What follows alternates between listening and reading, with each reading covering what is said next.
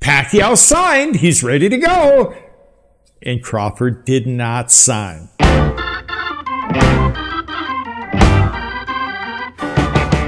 Welcome. It's another edition of Coffee with the Goose. You know, we talk about things that are interesting, fascinating, and irritating. I'm the Goose. Glad you joined me for another show. Got some, yeah, it's kind of disappointing, but uh, hey, that's uh, that's the name of the game with boxing. It's a, it's a big soap opera, and we'll give you the latest installment here.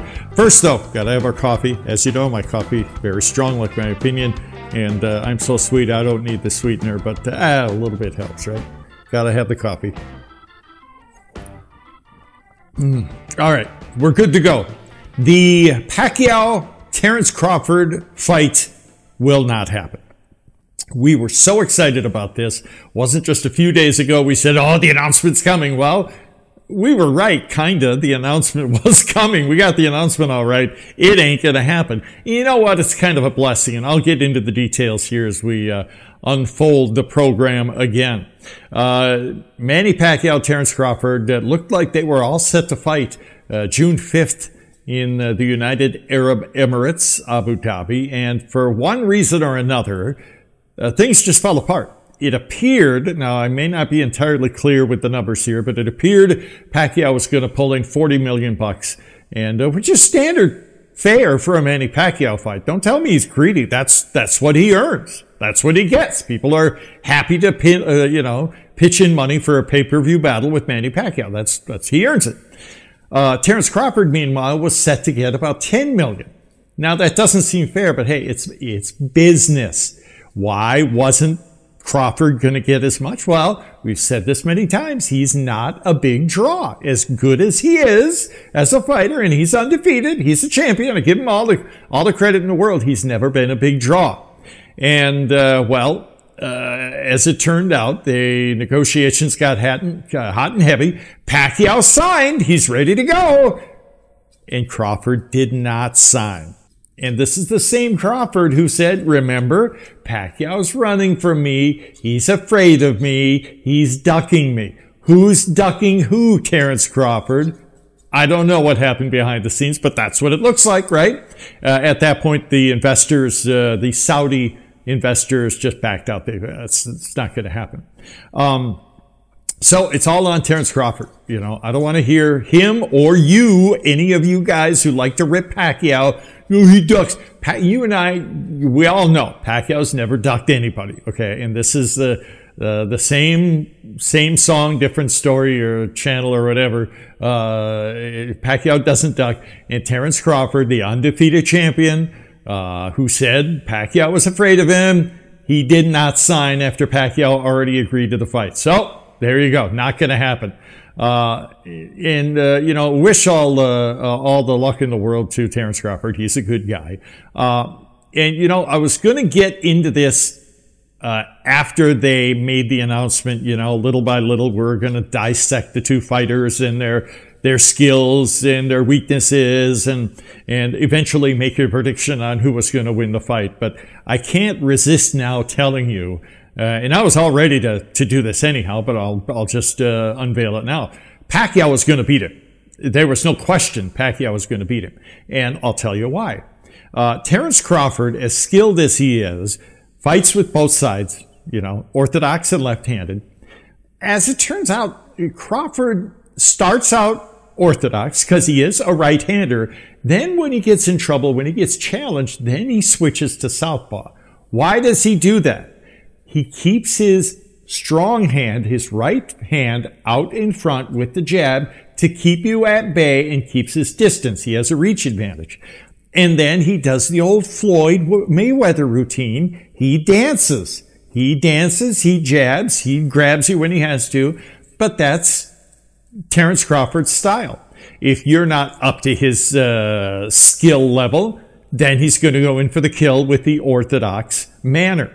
Uh, his last fight was a great example of uh, of that when he uh, defeated Kell Brook. And I mentioned this before. It was a KO, but it was you could tell there's something uh, left a bad taste in my mouth. Uh, you know, Kell Brook was a champion, was a great fighter at one point. He's not. A great. He's lost his skill. He's he's not what he used to be. He's a shell of his former self.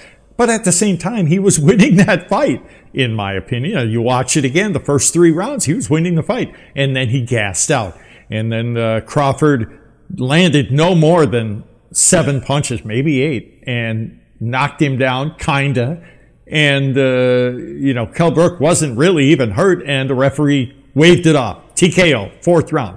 And I went, oh, come on. This is, what a joke, you know? Uh, yes, Crawford was going to beat him, but it ended, you know, in a very uh, unseemly manner, you know. And you look back at other fights, the Kavaliauskas fight, for example, he was beating Crawford. And uh, for whatever reason, he and he knocked him down. For whatever reason, midway through the fight, he kind of gassed. He he was winded, and uh, Crawford defeated him. And uh, you look back at Crawford's history. I can't remember who the other guy was that was beating him handily, but he was really a lightweight, and Crawford was too too big and too strong, and ended up overpowering him.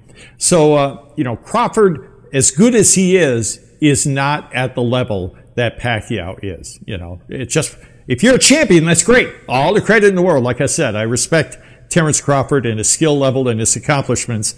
Um, but when you look at, at, his resume, who has he fought, at least at the welterweight uh, level, he hasn't really fought anybody that good. Um, uh, uh, Errol Spence Jr., meanwhile, has fought all the big dogs. Um, speaking of uh, Spence, it, that may be Pacquiao's next opponent, but Spence has called out uh, Terence Crawford, and Crawford wouldn't fight him. Shawn Porter has called him. Shawn Porter will fight anybody.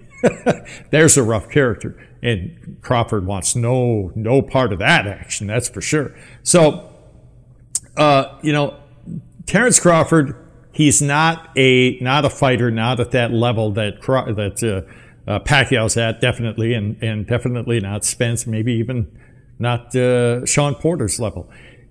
When you're running, and uh, we've said this before, and I hate to pick on Floyd Mayweather, if, if you score a fight the way they used to score fights and the way they should score fights, the aggressor, the one who initiates the action, should be getting the points at the end of each round.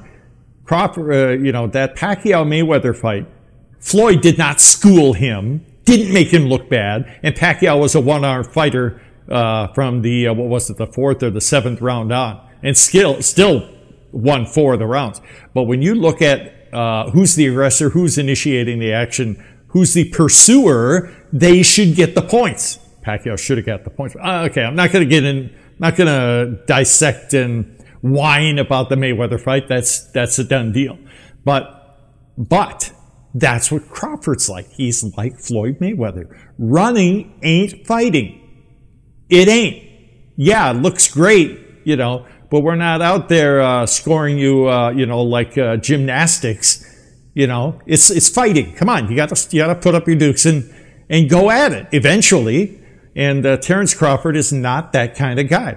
And again, uh, anybody who follows the game knows this, just like you and I know. He's just not a big draw because he hasn't fought anybody of any significance, at least at the welterweight level. So that's done and gone. Uh, Floyd, uh, Floyd's still in my mind. Sorry about that.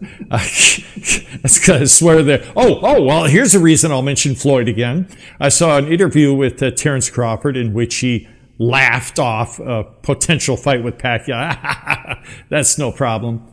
Uh, the uh, interviewer said, well, what about uh, your style is kind of like Floyd Mayweather and Mayweather never, he was criticized for never fighting anybody in their prime when he should have fought them, even though he's undefeated. And Crawford said, well, yeah, that's, that's smart. He's a smart fighter. He does what he, he needs to do to win and to go undefeated. So apparently, um, being undefeated, as great as that is, we admire that. That's really all that uh, Terence Crawford is uh, concerned with other fighters who have pride, number one, and care about, respect the game, number two, respect the fans, number three, being undefeated is not the end all be all. It's fighting the best and beating the best. And if you lose once in a while, hey, that's part of the game. Pacquiao's lost a few times. Yeah, he has. Has he lost his killer instinct? Has he lost his skill? Has he lost his um, his power? Not really. And he's 42. And now we see Terence Crawford deciding, yeah, I don't, uh, no thanks. You're a smart guy, Terence Crawford, because Pacquiao would have chased you down and made you look bad, and you would have lost for the first time. So there you go. We're going to talk more about uh, Pacquiao's next fight, and again, it looks like it's going to be Terence Crawford. We'll get more into that uh, in our next show. Uh, again, not going to happen. Oh well, that's uh, that's the way the uh, the ball rolls, right? Uh, no Crawford Pacquiao fight, but you know what? In the end, that's probably a good thing. Uh, love to get your opinion. Love to read your notes, your comments. Let me know what you think. And I think most of you who you guys know your game, you know fighting. I think most of you agree that you know, I don't want to see Pacquiao run a guy, uh, chase a guy who's running for his life. That's not worth, uh, that's not worth a pay-per-view uh, about, you know? So, but a Terence, uh, a, uh, uh, Errol Spence Jr. fight, that'll be a fight. More on that in our next show. That's it for this edition of Coffee with the Goose. Thank you guys so much for watching, and many thanks to all you subscribers. Uh, the number keeps growing, and we got more great shows to come. All right, you guys take care.